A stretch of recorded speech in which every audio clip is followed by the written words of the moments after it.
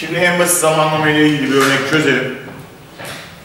Bu örneğimizde Q0.0 çıkışını flaşör olarak çalıştıracağız. Yanacak, sönecek, yanacak, sönecek. Start butonum, input 00, stop butonum.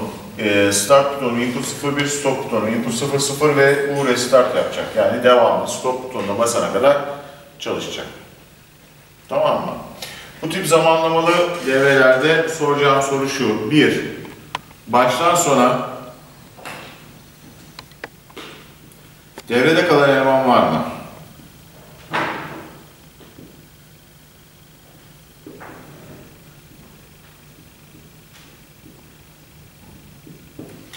Belki zaman öresinin önüne in kontağını koyarak yaparız. Karşılaştırma kontağı kullanırsak. Tamam mı? Ama şimdilik buna girmeyeceğim ben. Tamam. Şimdilik buna girmeyeceğim. Baştan sona devrede kalan eleman var mı?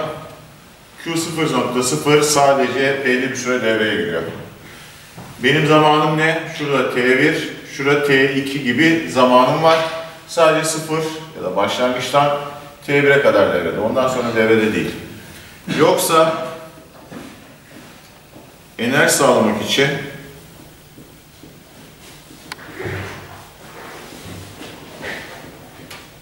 hafıza alanı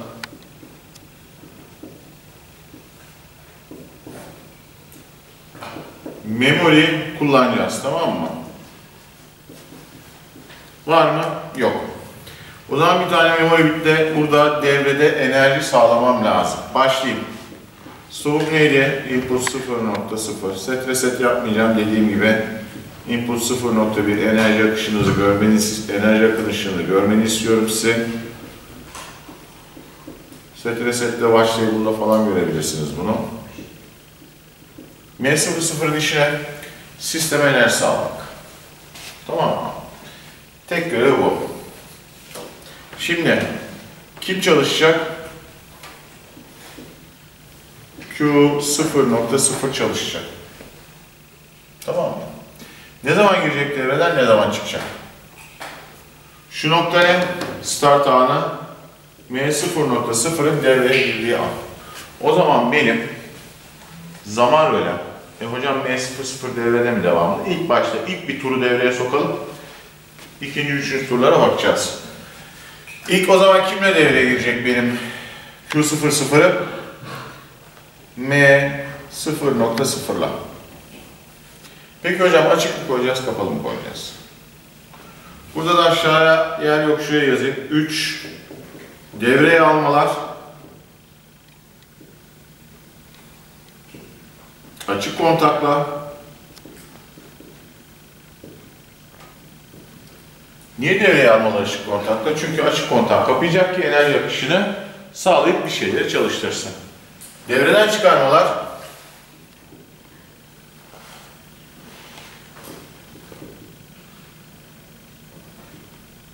kapalı kontakla. Niye kapalı kontakla devreden çıkarıyoruz? Çünkü kapalıyı açacak akışını kessin. Devreye almaları açık kontakla yapıyoruz. Açık kapatıyor, devreye alıyor. Devreden çıkartmaları kapalı ile yapıyoruz. Kapalıyı açıyor, devreden çıkarıyor. Şimdi o zaman M00 bunu devreye alacak mı? Alacak açık kontak.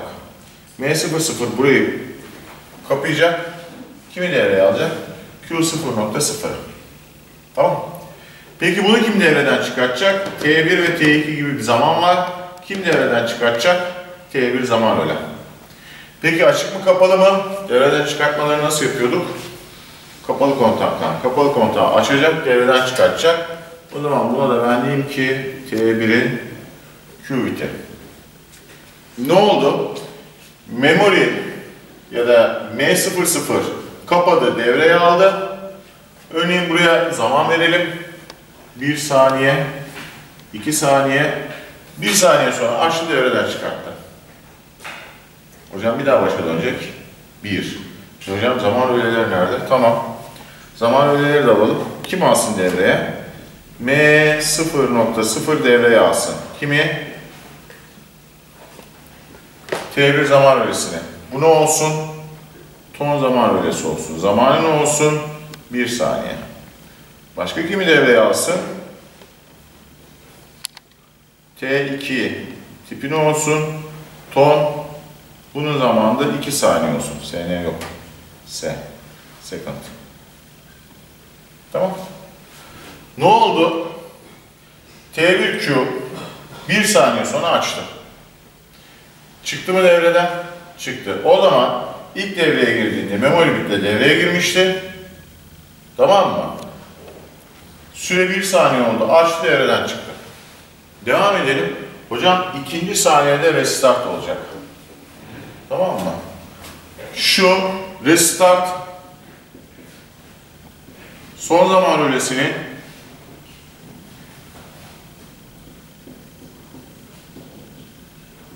kapalı kontağıyla olur.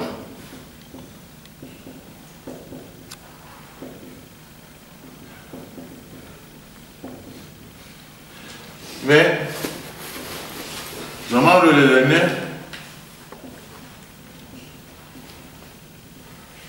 resetler. Ne demek istiyorum? Şuradan bahsedeyim. Buraya da son zaman ölen kim benim? T2.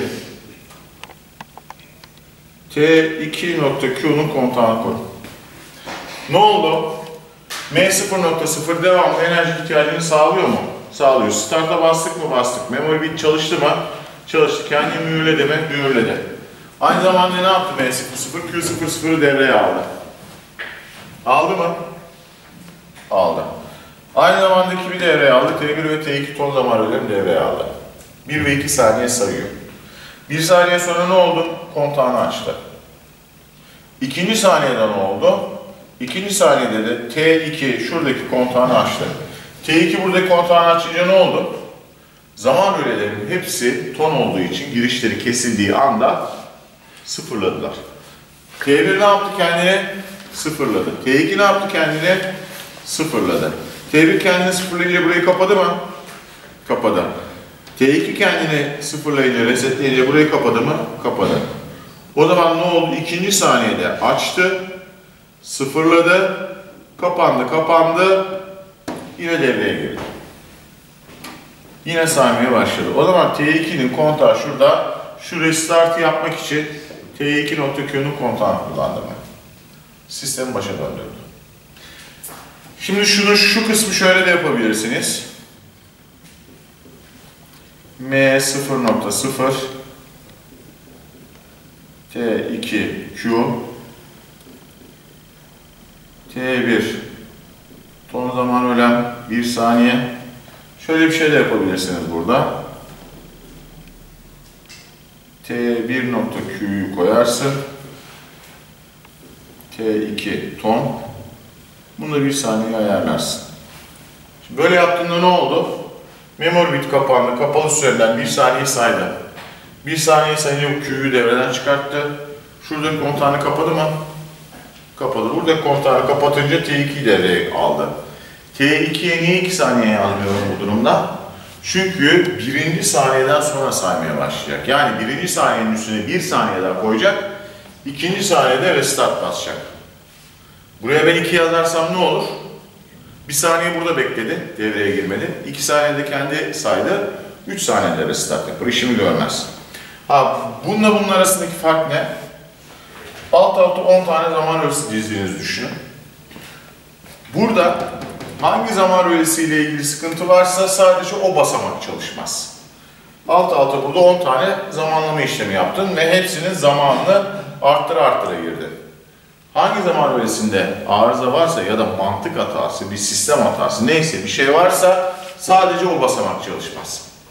Bunda ise birbirlerine yol vererek gittikleri için bunlar bu bir sonrakini çalıştırıyor, bir sonrakini çalıştırıyor. Buradaki durum şu.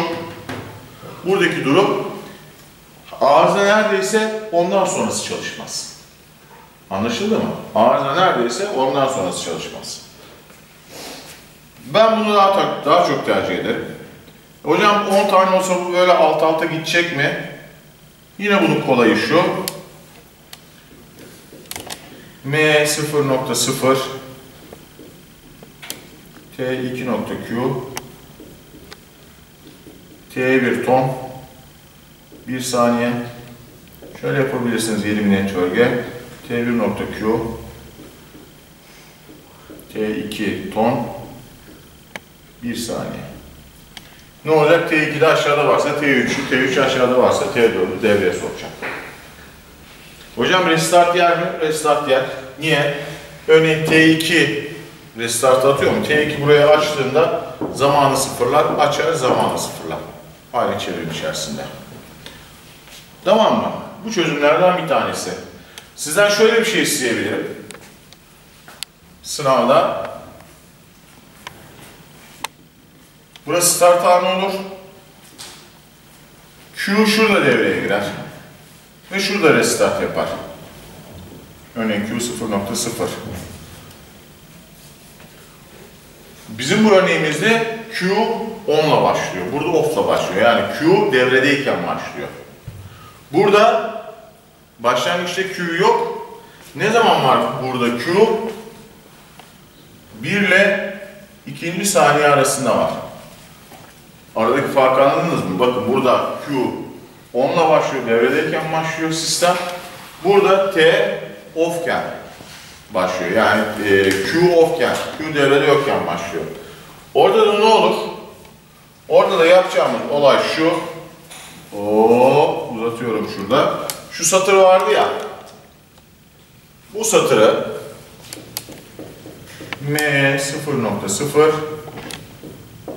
T1.Q'nun açıyla yaparsınız. Niye açıyla yaptım? Bir saniye devreye girmeyecek mi? Girmeyecek değil mi Q? Bir saniye devreye girmez. Birinci saniyede bura kapanır. Devreye girer. İki de restart açacak. Restart atınca burada zaten açılacak. Sorusu olan. Ha. Şöyle bir şey istersem ne olur? Yine devam edeyim.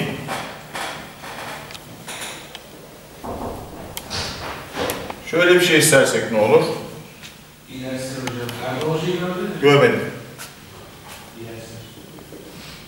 Şöyle bir şey istersem ne olur?